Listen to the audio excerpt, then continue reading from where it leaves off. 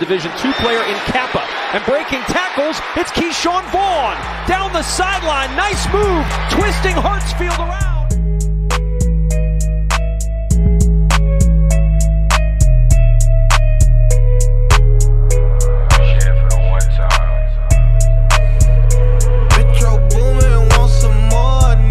Going to the jeweler, bust the AP, yeah. Sliding on the water like a jet ski, yeah. I'm tryna fuck you on your bestie, yeah